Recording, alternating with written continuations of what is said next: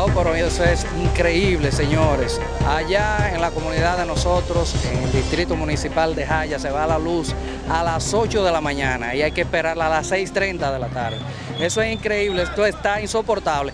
Y sobremanera en la noche vuelven y se la llevan y no puedo ni siquiera dormir. Esto es algo increíble, señores. Estamos siendo sometidos por el norte. Un martirio total, porque es que se paga religiosamente eh, eh, eh, esa energía, entonces no, la tarifa se paga, entonces no nos están dando el servicio. Es un martirio. Es un abuso lo que se está cometiendo ahora, porque según hay tantos apagones, así mismo sube la tarifa de los recibos de luz. Esta gente está acabando con la sociedad, aquí no se duerme. Porque, oye, lo, grande es que ellos esperan las 11 de la noche o las 12 de la noche para cortar la luz cuando no lo hacen antes, ¿tú me entiendes?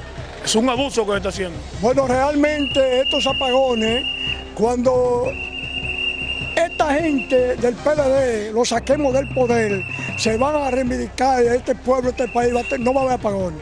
Porque hay que sacar este cáncer. Que eso está acabando en este pueblo. Terrible, ¿verdad? Terriblemente terrible.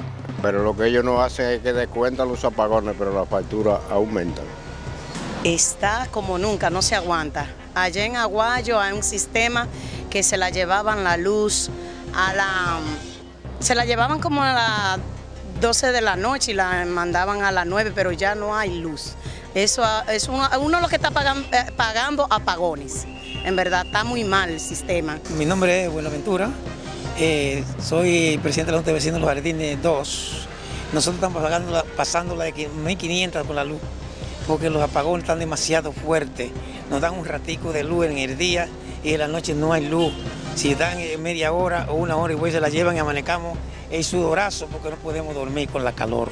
Así es que nosotros esperamos que el norte le dé un seguimiento a esto, a ver qué ellos van a hacer con nosotros, o es que nos van a matar a plazo. Fue terrible en esta, en esta provincia de Duarte, no pagar los recibos, esto es un chantaje todo, unas tarifas muy altas y así, así sucesivamente.